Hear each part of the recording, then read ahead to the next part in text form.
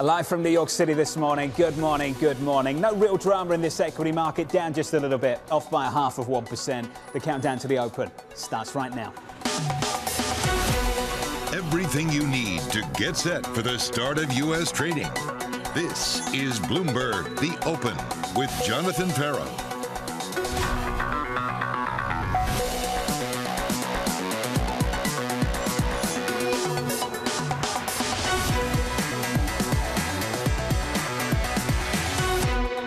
Live from New York City, we begin with the big issue the downgrades piling up we downgraded our stance. Expect downgrades. Of course, the, the situation is quite challenging at the moment. Sentiment probably has, you know, hit peak bearishness. Yes, we're squarely in a slowdown. We have all the components in place that would make that happen. There's a lot of tightening priced in. At some point, you know, demand is going to start to respond. Everybody's concerned about what the next 12 to 18 months will bring. Global growth will continue to slow. We have two problems, inflation and supply. It's a tale of, of two uh, halves. The second half of the year does slow down considerably. We need to get into Q3, see what happens. Definitely a slower trajectory in the second half of the year.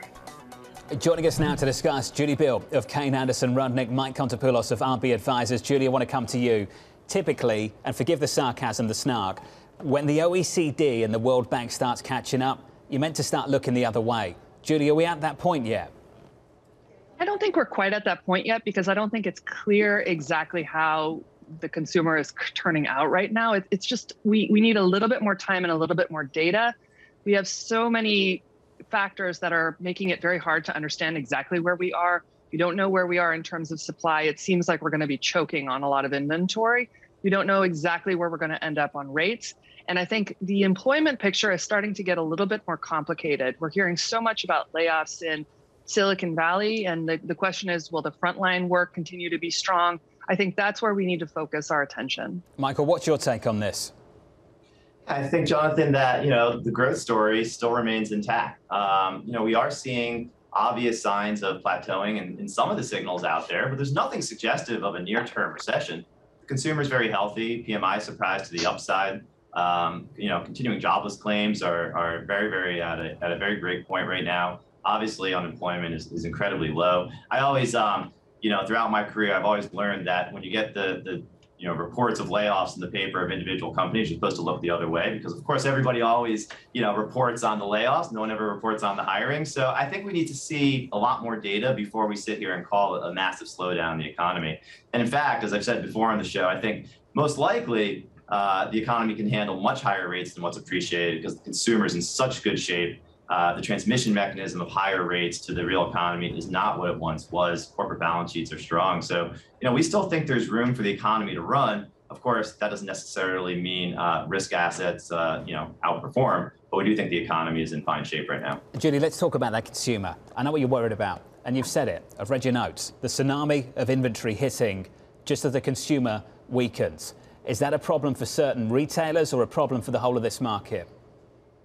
Well, you know, in the US, the consumer drives a lot of the market. So it has implications for the rest of the economy, but for retail in particular, it's a really big problem. If Target, a company that's at large and usually quite adept at managing its inventory, is choking on its own inventory, and we still have a large backlog of ships in Asia coming towards us, that's going to hit right when there's the core back to school and holiday season, that's when retailers really make their money. So I think there's nothing but trouble ahead for retail right now. Julie, talk to me about that inventory story at the likes of Target, though. Did you see that as a sign of weakness or a sign of bad execution, bad management because of a shift in consumer preferences? I think it's both, right? I think when a lot of inventory is ordered, you have to think about it that's six, nine months before it actually hits stores. So, you know, six to nine months ago, gas prices were very different than they were today and you know we still had the underlying effects of stimulus and a lot of pent up demand. I think numbers will actually look pretty good through this summer because the pent up demand for travel is going to be a nice boost to the economy. But then I think when it's time for back to school and holiday, it's really going to get kind of ugly. There's an inflation story here as well, Michael. I'd love your input on it. Uh, you've got the good side with some disinflationary forces here with this inventory build up that Julie's speaking to. Then on the services side, you've still got that pent up demand. How do you think one offsets the other through the next several months, through the rest of this year? We certainly still have the, the huge pent up demand on the services side, but you also have the war in, in Russia and Ukraine that's causing oil prices to spike, food inflation to, to remain high. I mean, you look at commodities, commodities still remain at an all-time high in terms of uh, in terms of prices. So inflation is real, inflation is alive. It's it's not just one area of the economy that you need to pay attention to. You know, it's really very broad-based. Wage growth is still strong. Housing prices are, are still very, very high, owner's equivalent rent. But then you also have the big secular issues, right? Deglobalization, um, an aging demographic that's actually drawing down on the global stock of savings and spending that into the real economy, that actually has an inflationary impulse. So I think inflation is here to stay. Um, you know, there's certainly reasons maybe to expect that we're near the highs. I wouldn't necessarily say we've peaked quite yet. Maybe we have, maybe we haven't. But I think there are lots of reasons from commodities to wages to rents to the sort of more secular factors to expect inflation uh, stays where it is. You might get a little bit of shifting of inflationary pressures from, from goods to services as well. But I think at the end of the day, it might be closer to a wash than most expect. 25 minutes out from the open and bell, futures down about a half of 1% on the S&P, on the Nasdaq 100 down a half of 1% also. Yesterday, the World Bank cutting its growth outlook to 2.9%. This morning, the OECD joining in looking for a three handle just and just about 3% is their outlook. Kailey Leinz, a big cut to the outlook from them. A big cut, one and a half percentage points at a global level. And when you look, there actually were some larger cuts for individual countries themselves. For example, the U.S. cut down to 2.5% growth for this year. For the euro area, cut down to 2.6%. And China, they say, is going to grow only 4.4%, which of course is well below Beijing's own target. Now, the organization is basically saying that the world economy is going to pay a very hefty price for the war in Ukraine, for supply chain issues, and of course, stronger inflation. And that is the other part of this, John. It's not just about growth outlook cuts, it's about inflation outlook hikes. The OECD doubling its inflation projection for its 38 member countries to nearly 9% this year. And of course, a large part of that driven by spiking commodity prices, oil front and center in that with Brent up 56% just year to date. And of course, compounding, exacerbating that problem, the dollar hovering around 20 year highs, creating a huge problem for everyone trying to buy dollar denominated goods. Oil, of course, is among them. When you put it all together, you've got hotter inflation and cooler growth, and a dilemma for central bankers who want to tame prices but also want to keep the landing soft. And looking at the bond market, you can see some concern around that. In that, yes, the two tens curve is no longer inverted, but still it's only in between 20 and 30 basis points, uh, depending on the day. That is a reflection of the fear that if there's too much aggression now, it means a recession later. And we actually heard Ray Dalio out overnight in an Australian newspaper talking about stagflation, saying that yes, now it's central banks hiking and tightening, but in 2024, it's going to be a story of easing and cutting because of that stagflation. John. 2024 is not that far away. It Kailey Leinz, thank you. And this leaves the consumer trapped, getting squeezed. We've all seen it, haven't we, on the online shopping? You have the option, you're confronted with it. Buy now, pay later. Well, those buy now, pay later lenders are starting to feel the pain. The loan packages behind them are dropping in value. With new competition adding to the pressure as well, Sonali, we had to catch up this morning. What is going on, not just with the firm, but across this industry? It's a great question because the firm is still down pre market today. As you've seen it drop more than 75% already this year. Compare that with the PayPal, a little more diversified, but also doubling down on buy now, pay later, more than 50% decline this year. I'd love to tell you, John, that this is all about Apple, but you hit the nail on the head there. A lot of this is also the cost of financing. The securitization market hitting some pressure there, and of course, that is going to impact a company like Affirm that funds about a third of its loans through securitized lending. But there's also this broader push on Wall Street. For example, Wedbush initiating Affirm at an underperform, saying that they might get a better cost of financing by getting a bank charter. You've seen also even bigger firms like Goldman Sachs pushing into consumer lending to lower that cost of funding. The question is, is a bank charter worth it for a firm like Affirm? You had Jamie Dimon just a couple of months ago talking about how Affirm started as a hot buy now, pay later company and then also expanding now into different products like deposits. And the question here is now, is that enough to get it through uh, this very difficult cycle? Will there be a washout in this space as we see job cuts starting to mount at other companies? Sonali, I imagine this is not going to be the last time we talk about this this year. Sonali Basak there, our Wall Street correspondent. Julie Biel, I know you've got things to say, so here's your chance. What are your thoughts on what's happening here? Whole wash of buy now, pay later is an interesting an interesting business because you think about it, right? None of these businesses have been back tested in a recession, right? And they're securitized against things like sweaters. So, how on earth should we expect these businesses to perform when customers suddenly can't pay, right? I think they're going to pay their utilities before they're going to pay for their sweater. Um, so, I, I think obviously, as, as a long term investor, we've never really been interested in these stocks, but I think there's a more core problem with these businesses, right? And that they're targeting young people, and young people are suddenly being told, okay, you can buy now, pay later on your sweater, your student loans might be forgiven please come onto Robinhood and trade on margin. I'm really worried about the financial health of the younger generation of consumers and the moral hazard that can be involved in that. So, you know, for us, I think it's a concern because I think it would take years for the to repair some of the financial damages that have been done as many of these younger consumers have been overextended. And there's not a lot of financial education to really support them either. So I, we're definitely very concerned and obviously not buyers of Affirm. Julie, it's a really legitimate concern. I'll give you another one in the market, market specific. Have we got a clean read on which companies this trend has been supporting? Because if this starts to break down, how much of the earnings of certain companies do we need to start to reassess? Yeah, I think then we're back on retail, right? You know, it's it's so many of these retailers jumped onto the buy now pay later because look, it's a great opportunity for them to increase their basket size. And I think, you know, they the economics of that business start to look really, really poor if suddenly there's levels of defaults. And I mean, I've been shocked to see how quickly, you know, the Affirm loan book starts to look really poor. And that's at very high levels of employment and strong wage growth. And still people aren't paying for their sweaters. Mike, they're not going to pay for their sweaters. That's probably not a systemic risk what might be is something more broader. Mike, I'm often thinking about where is the leverage, where is the leverage? And I'm confronted by guest after guest who tells me consumer balance sheets, household balance sheets, they're strong. Corporate balance sheets, they're strong. If you think, Mike, where's the leverage right now? Where do you think it is? You know, I think there's uh, the, the leverage is likely into the uh, you know the, the, the far sort of outer reaches of the private debt market more than anything else, right? If you think about what happened over the last 12 years, not just since COVID, but going all the way back to the global financial crisis, easy monetary policy, zero interest rate, pop, you know, zero interest rates globally. At 1.27% of all fixed income assets uh, having a negative yield, generally low growth up until the post-COVID years. All of that incentivized a tremendous amount of risk taking, tremendous amount of re-leveraging on the private side of the economy, the shadow banking side of the economy. And so I think that's probably where the leverage is hidden, um, more so than in public uh, public companies and even on the consumer side. You know, that's that wary of. Mike Contopoulos, Julie Biel, sticking with us. Futures lower by a half of 1% with some movers. Here's Abby. John, well, one of the top sectors on the year outperforming the consumer staples space, and we have a example of why. Today we have the shares of Campbell Soup popping higher this on a much better quarter than expected. The stock up more than 2%. They beat.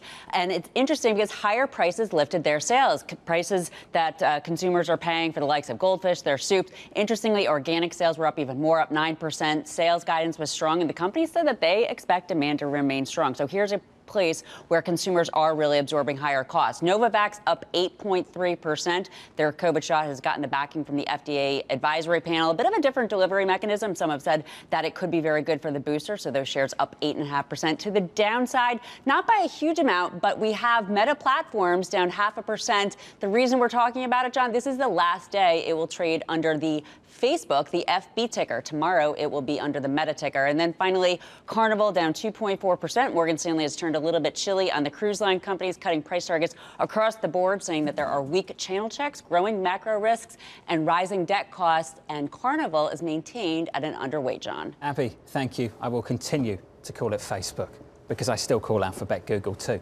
Abby, thank you very much. 496. 496 is the average price for a gallon of gas in America right now. And the Biden administration knows it's got a problem. Bringing inflation down should be our number one priority, and President Biden has indicated that it is our top priority. That conversation up next.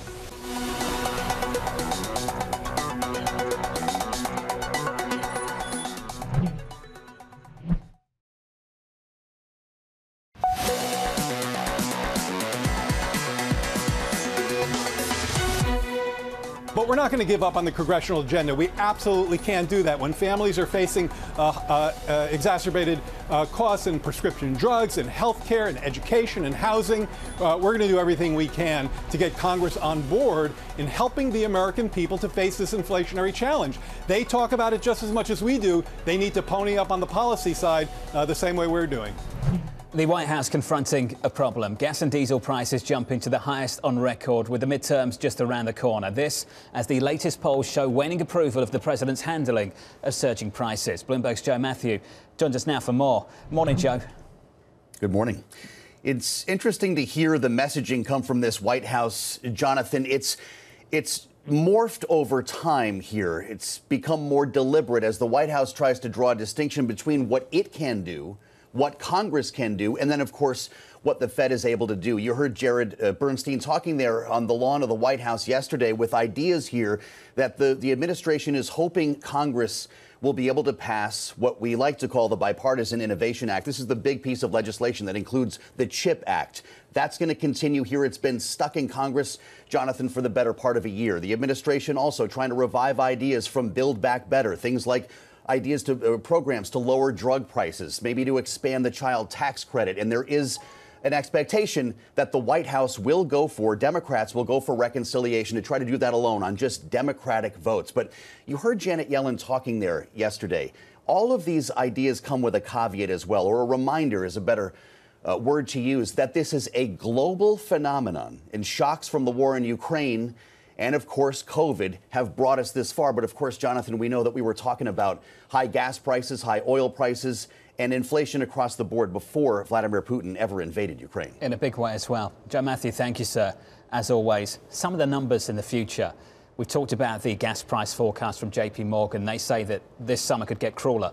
Their words. We could end up at $6 for your average gallon of gas in America. On crude per barrel, 140, the forecast now from Goldman for the third quarter, and they think we could be stuck with that kind of number out 12 months. They're looking at the second quarter of 2023 at 130. Julie Biel, you've noticed something interesting about the correction we've seen. That what's worked is low quality commodity companies, and that's not normal. Can you walk me through your observation and why you might be leaning in a different direction? Right. I, I, think it's been kind of an atypical correction where, you know, normally when people are concerned about a slowdown, there's a flight to quality businesses, ones that have really durable earnings that can do well even in a difficult macro. But because this is an inflationary environment, they've actually moved towards commodity markets. For us at our firm, where our average time horizon is five years, I'm a little uncomfortable loading up on commodity costs when it's really tied to, you know, Putin's midlife crisis. That doesn't sound like a great place for me to be putting all our money in. So we're more focused on those quality businesses, which are actually kind of on sale right now. Um, you see them in some of the software names, but a name like MarketAxess and Financials, you know, these are businesses that have a lot of earnings uh, consistency, and that's what really gets rewarded when we are in a more uncertain macroeconomic environment. I think a lot of people calling the commodity market need a therapist much of the time. Forecasting through is really, really difficult. Mike Contopoulos, can you make a call, though, that we've seen the high on Treasury yields without seeing a high on crude?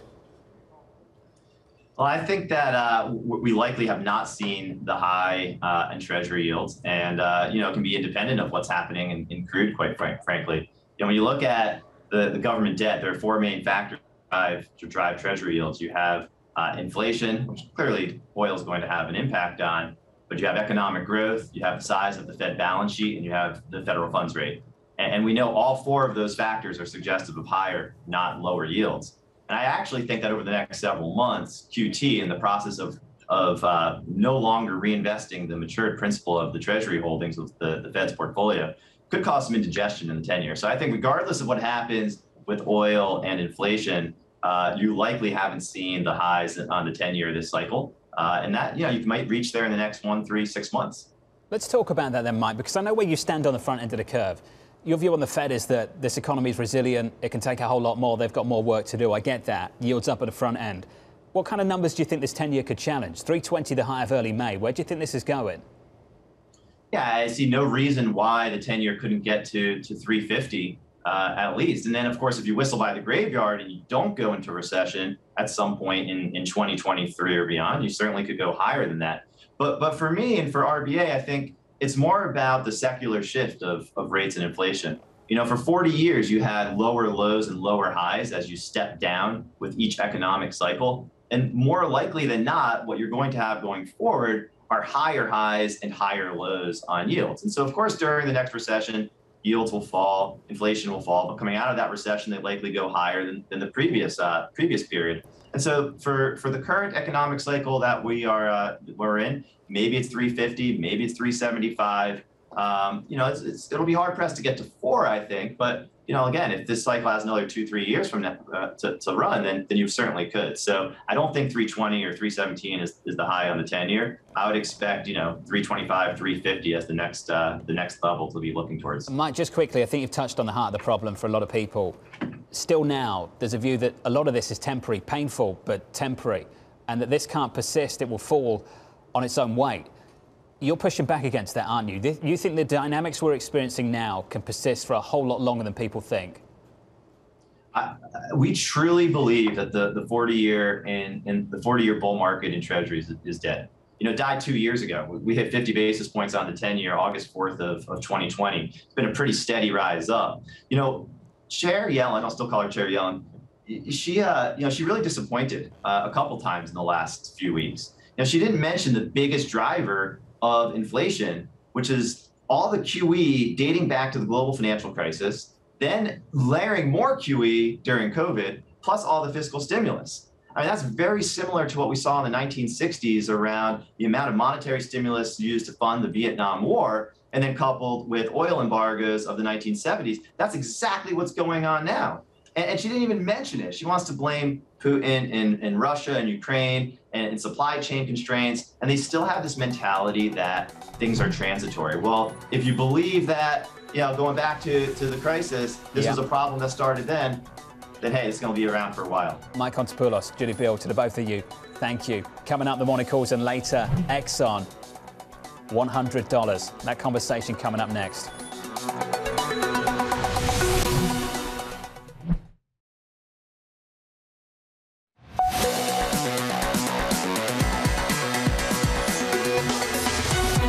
From New York, let's get straight to your morning calls. Bank of America downgrading target to neutral, highlighting competitive pricing and weaker margins. Morgan Stanley downgrading Altria to underweight, expecting higher gas prices to pressure consumers. And finally, BMO naming Amazon its top pick within the mega caps, expecting shares to rally in the second half. Coming up, JP Morgan's David Stubbs. Your opening bell is up next.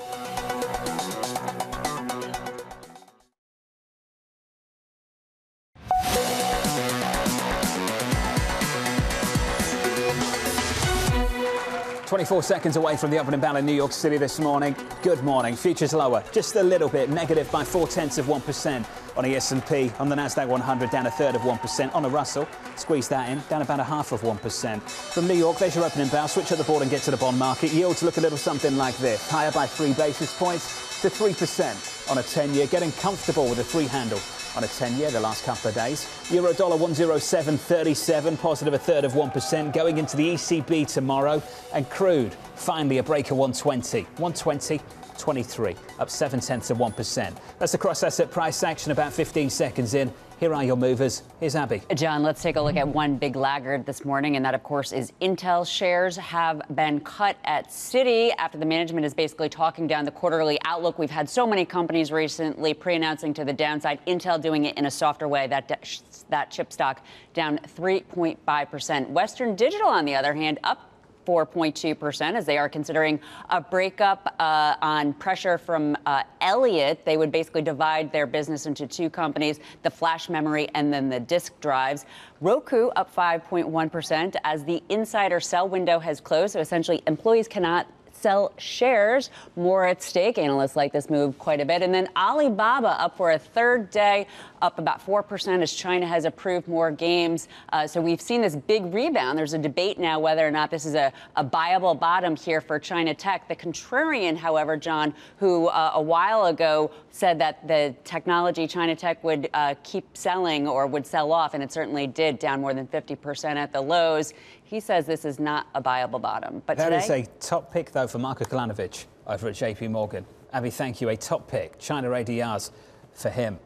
Big tech right now. Where are we? Information technology, middle of the pack, down about six tenths of 1%. Energy, top of the pile, relatively speaking, up by 0.05%. Overall, the S&P 500 down about five or six tenths of 1%. Crude up in a big way this year. You know that already. Energy equities as well, up 60 percent more than that this year alone. Taylor Riggs has more. Hey, Taylor. John, briefly yesterday hitting 120 on crude, and that trend continues today, now trying to hover near that 120 or so dollar a barrel. And so, really, the story of the year has always been about the energy sector. The themes for the days continue, really, is the theme for the years. You highlighted that sector. I think what is crazy, and you mentioned some of these statistics in the introduction crude is up 125%. So when I take a look at the S&P 500 and you're taking a look at the best performers and it's the energy sector up 65%, that blows you away until you realize that that gain is half of what the actual energy uh, crude really has gained here at more than 120%. So typically if we think about correlations, maybe one would expect a little bit more of a better performance here for some of the energy stocks when you think about the actual performance of energy. I think what is so interesting though is you're actually getting some intro, um, some of the intraday stocks here hitting record highs. I think you had Valero yesterday, another price target increase. ExxonMobil was at another record high yesterday. And so some of the individual stocks are actually doing really, really well underneath the sector surface though, even though perhaps maybe the energy sector only up 65% with the huge gains in crude that you've seen. And Taylor, very disciplined, seemingly no interest in building out capacity. Nope. It is all about cash flow, returning um, money to shareholders. That has been the theme of John, the decade, maybe, and that certainly has been continuing this year. Taylor Riggs, thank you. Thank you very much. Just one sector to keep an eye on, of course through the year. Kailey Leinz, it has been very different over the last couple of years compared to the previous decade. Yeah, growth has dominated for so, so long, John. And we've seen a couple of false starts, head fakes, where we see a period of value outperforming dramatically. It never really seems to last. The question is, is this time different? Because once again, this year we are seeing value outperforming as we have the specter of higher rates, which puts pressure on higher multiple, higher growth companies. We actually have the S&P Value Index only down about 4% this year. Its growth counterpart is down 21%. So that puts value on pace for the widest margin on an annual basis of outperformance relative to growth in any year since 2000. And value has now actually regained all of its losses relative to growth since the pandemic began. Now, of course, that's reflected on a sector level. Taylor was just running through how energy is far and away the outperformer. Note what is the underperformer. The three worst sectors in the S&P 500: discretionary communications and tech, all of which are, of course, tech heavy. So growth stocks are obviously dominated by those tech plays, and we have seen those tech earnings projections slashed. We had Microsoft last week cutting its estimates, talking about FX headwinds. We've seen a number of companies from Meta to Tesla maybe uh, freezing hiring, and overall, Bloomberg Intelligence Intelligence says that since mid April, growth stocks earnings estimates have slid by seven percentage points for the second quarter. They've been cut uh, for the second half, too. Meanwhile, values estimates for earnings have gone higher. The one thing I will say, though, when we're talking fundamentals, John, valuations for growth companies were around 30 about two years ago, now down at 21 for a forward PE multiple. So, yes, these stocks are still relatively more expensive, but they've gotten a whole lot cheaper, John. Kailey Leinz, thank you. How's this for a story? Some reports from a Swiss finance blog that State Street could make a Swiss franc, nine Swiss franc share bid for Credit Suisse. So that means we were down and down hard over at Credit Suisse, and we've erased much of that loss following that report. Taylor Riggs, let's catch up on this one. What do you see? What have we heard this morning? And what do you make of the latest development? Yeah, John, so this is interesting because we were going to be coming on and talking about Credit Suisse and potential job cuts. And this is sort of an interesting story when you think about all of the uh, sort of um, cost cutting and, and, job cutting sort of um, uh, conversations that we've had really throughout the industry. We've talked about retail being one of those. And then, of course, Credit Suisse warning about a third straight quarterly loss and potentially then uh, getting some job cuts and maybe trying to blame some monetary policy policy, but analysts saying that a lot of this was self-inflicted wounds. And then, of course, a lot of those losses, as you just mentioned, being erased, trying to turn positive now on a potential bid. So I think we're going to dive deeper into this, but really interesting on the heels of sort of the announcement this morning of looking at perhaps maybe some more cost cutting measures, trying to make perhaps some more attractiveness, some more value generation underway, John. Saida, thank you. Let's catch up on that again in about five or 10 minutes. Just to repeat, the report comes from a Swiss finance blog called Inside Parade, citing a single insider, just to give you an idea of what's behind this report.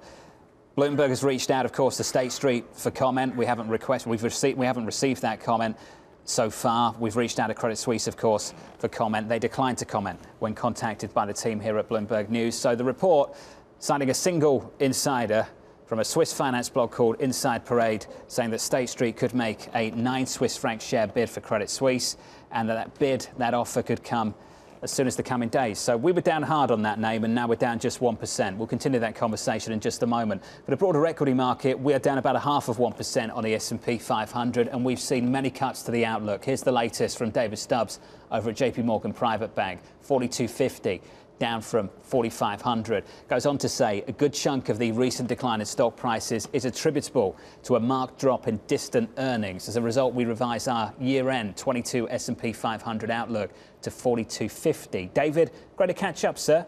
Good friend of the show, good friend of mine. Let's work through it. 4250. Why? Basically, no gains for the rest of the year.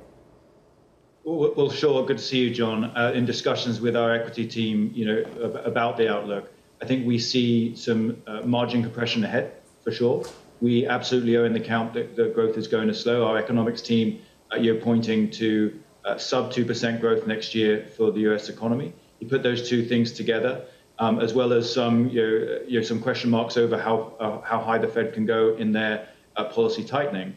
And you get to, uh, as you say, a, a rather modest outlook for us. I think the, the point on the longer term you know, earnings is a, is a very interesting one. As we've seen, you know, next 12 months earnings have continued to grind higher you know, over this this year, and the, and the equity team are absolutely pointing to uh, you know, sectors such as healthcare that have that resilience uh, over you know, over the earnings uh, pattern. But if you look further out, estimates of three to five years growth, which are present in the in the market, uh, have come in quite a bit. And that, firstly, you know, for us, re- reflects a little bit of a correction after huge optimism built up post-pandemic about you know, some of these digital uh, trends.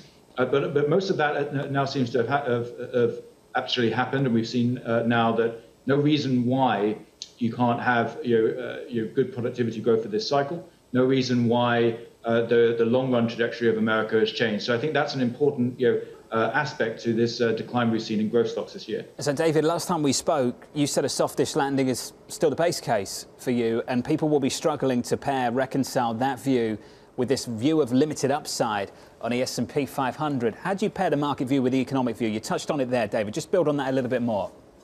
Sure, yeah, John. Very simple. If nominal GDP is going to slow from its torrid pace uh, in the last few quarters, and yet things like the labour market, wage growth, are still going to be reasonably robust, you get a compression of margins. And that's why you can have absolutely uh, economic growth next year of below trend. Let's be clear, like we're, we're calling for, I think, 1.4% growth next year. That's below trend for the US economy, whilst having a pretty muted earnings upside from here. And we will need, I think, to see a clear turn in optimism about corporate earnings, clear signs that the Fed uh, won't have to go, say, above 3%, clear signs that uh, margins reach a bottom before the equity market will rally sustainably. Now, look, in that time, John, you're going to have tradable rallies. And if you're watching this program and you're a trader, I'm sure um, you can you can absolutely make hay in those. But before you know, long run investors really find a bottom, I think they need to see a few of those a few of those things together. So. Uh, if you put a, uh, if you put a weak GDP number on earnings on earnings growth, it really happens to be not the most exciting outlook for, for equities on a, on a market wide level, but certainly some opportunities now for traders and indeed for some long run investors. And on the other side, in fixed income, in bonds. David, are you more comfortable, comfort, confident in this idea there's more upside in treasuries than perhaps there is in equities? That we can get a decent rally here in treasuries now, that this is the place to be again, that bonds are back? Can you say that? Absolutely, John. we have been saying that for a few weeks now, having a lot of a lot of conviction that when the 10-year is north of three percent, it's time to add, especially if you're holding a, a, lot of cash. I think this represents an important evolution in the market you know, drivers. Last year, three to four uh, to five months, we've seen uh, bonds be the issue. They were the ones uh, selling off, you know, raising the uh, you know, the discount rate, hurting the equity multiple. You know, we're probably at uh, you know, peak hawkishness right now we think that the, the correlation has started to flip. The bonds can you know, uh, protect again. And so we, we are adv- advising adding to duration when you can get more than 3% on, on a US 10 year. Don't get me wrong, it, certainly further losses would be possible if the inflation you know, proves a bit stickier. And you know, uh, Friday's CPI report, absolutely crucial there. If you get more hawkishness around the world, the ECB tomorrow, for example. So it's obviously not a one way trade, but we think there's an asymmetry here that if you are looking for a severe slowdown in growth next year, bonds are going to help protect your portfolio in a way that they haven't in the last you know, five to six months. So that's an important evolution now. Now the focus is on how deep will the, the economic slowdown be, how you know, uh, deep will the margin compression be. We're, we're obviously pretty cautious on those, those fronts, and that's why we're, we're advocating clients that don't have a lot of duration in their, in their portfolios to start to add. Bonds are back, according to David Stubbs. David, stick with us. I want to talk to you about the ECB in just a moment. Coming up on the programme, we'll do that and State Street potentially making a bid, maybe later this week, according to a report for Credit Suisse. That's next.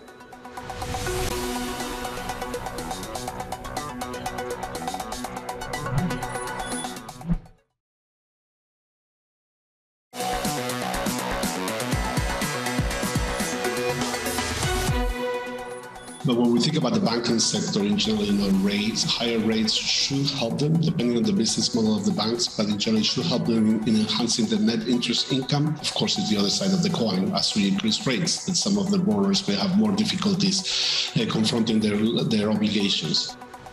The focus on the European banks. A bit of news from Credit Suisse earlier this morning. A bit of news again in the last 10 minutes with the latest. Here's Taylor Riggs. John, I want to be careful here, of course, as we're citing the Swiss finance blog. State Street may be, according to this report, offering to make nine Swiss franc a share bid for Credit Suisse here. Now, when I'm taking a look at some of the Swiss franc shares here, I have about 680 or so. So hugely negative. And then as you can see there, a spike higher, trying to gain here on the day on that report. I think what's interesting is before this and before sort of that big move upwards, the story really has been about a bank and a turnaround situation, warning again about another loss and really then looking at cost cutting and job cuts and something that, John, that we've heard really sort of globally and in multiple other sectors and maybe sort of now hitting this sector as well. I think sort of another interesting story behind this is they're citing uh, monetary policy, significant tightening that's underway. And I know that you're going to talk about the ECB,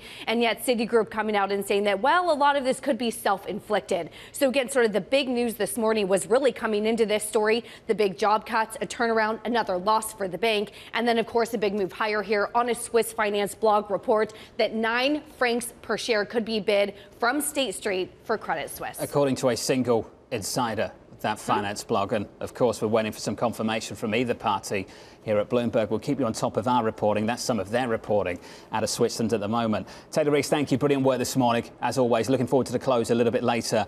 That is the story for Credit Suisse. Here's the story for the ECB. Matt Miller, we might see something in the next few months that we haven't seen in a long, long time. Yeah, and I think the key phrase there is in the next few months. Um, the sloth is unbelievable. I was just looking at the rates um, John. And the last time they were positive, uh, Barack Obama didn't have any gray hair. He was in his first term. Um, the hit song was Call Me Maybe by Carly Rae Jepsen. Tesla hadn't yet delivered its first Model S, and my friend Kriti Gupta was celebrating her quinceanera. So it was a long time ago. Um, this is the inflation picture right now at an all time high. That is, of course, since they started measuring um, the entire euro area inflation, but still 8.1%. It's a huge concern. The core in blue there at almost 4% um, is a real concern as well for the central bank, especially for the Germans. They are so far behind the curve. Take a look at where the ECB is compared to the BOE and the Fed, and it's like they haven't yet gotten the call. In fact, um, right now, the debate seems to be whether they hike by 25 basis points or 50 basis points, but not at this meeting tomorrow, rather next month, um, and really in a month and a half, because that meeting is at the end of July before the August break. Um, the one thing that they could do at this meeting, which um, Christine Lagarde signaled in a blog post um, earlier, uh, about a month ago, is start to unwind their balance sheet. This uh, ECB balance sheet towers over everybody else's. I mean, 8.8 trillion euros, it's bigger than the Fed's, and they still haven't started to unwind yet, even as we've seen rates jump. Um, in fact, if you look at Bunds, the gains that we've seen this quarter are going to be the biggest quarter uh, we've seen in a century, or this century, I should say, not in the last 100 years. But it's pretty amazing, um, the picture there. So I think everyone's going to be glued to this meeting tomorrow. Matt, this was nice. It's been a while, hasn't it? Yes. Looking yeah. ahead to the ECB. We should do that again. Matt Miller, thank you, buddy. It's good to hear from you. Matt Miller on Bloomberg Radio with Paul Sweeney in around about 10 minutes' time. David Stubbs back with us from JP Morgan Private Bank. David, We haven't seen this since 2011. We've had negative rates since 2014.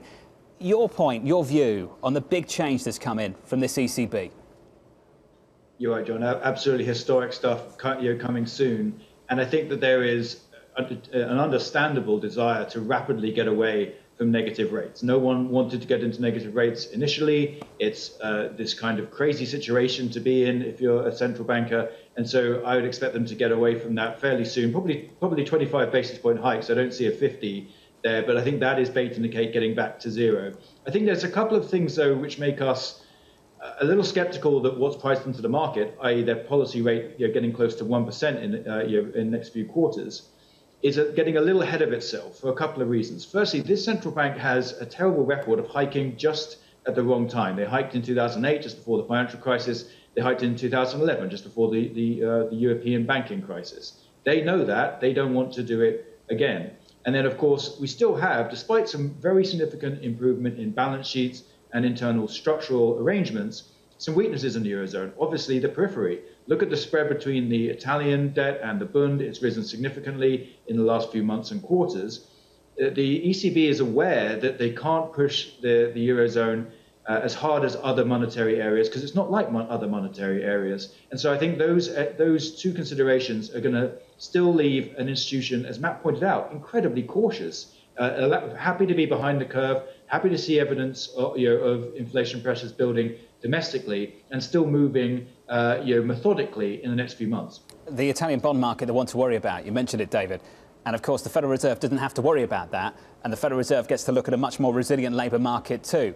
I'm looking at yields higher now by 11 basis points at close to 340 on an Italian 10 year. Let's finish here, David. Do you think it's going to be difficult for this ECB to get much above zero on the depo rate? Do you think that's going to be a challenge in and of itself? We see them hiking a, a couple of times above zero, so 0.25, 0.50 into, ne- into next year for sure. But then the, the outlook is so uncertain because of the energy issues. How big a hit is this going to be? Is this going? Are we going to see the eurozone on the verge of a recession as we move into next year? Are we going to have rationing of energy and shortages and rolling blackouts, as some people are, are talking about, uh, John. So I, I, do think that they, they are mandated to focus on inflation. Remember, they don't have a dual mandate, unlike the Fed. They are solely focused on keeping inflation uh, you know, close to their 2% target and, and a bit below it. Uh, they have the core inflation there that is way too high. They need that to stabilize and start to come down we think that's going to play out over the next six to nine months. So we see them getting a bit above zero, but maybe not as high as the market is currently suggesting. They do have this kind of shadow mandate, though, don't they? This unofficial mandate, if you will, and that stability in the peripheral bond market. David, Matt mentioned unwinding the balance sheet. How are they going to do that?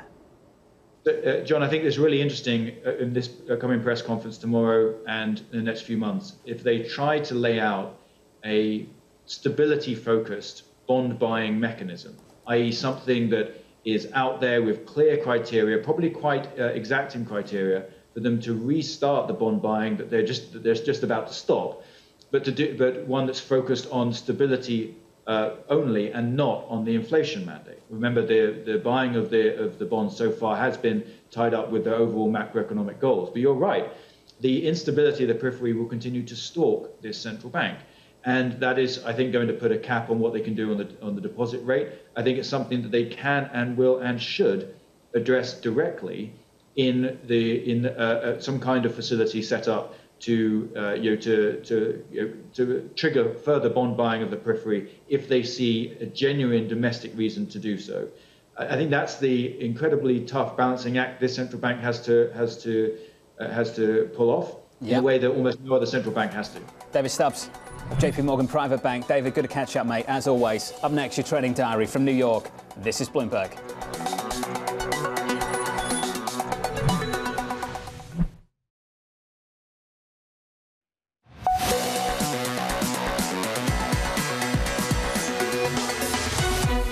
Twenty-six minutes into the session, a raise in losses, basically unchanged now on the S&P. A busy week ahead. Let's get to your trading diary. Secretary Yellen repeat volume two on Capitol Hill at the top of the hour. President Biden leaving for LA to attend the Summit of the Americas at 11:45. An ECB rate decision and President Lagarde news conference coming up tomorrow.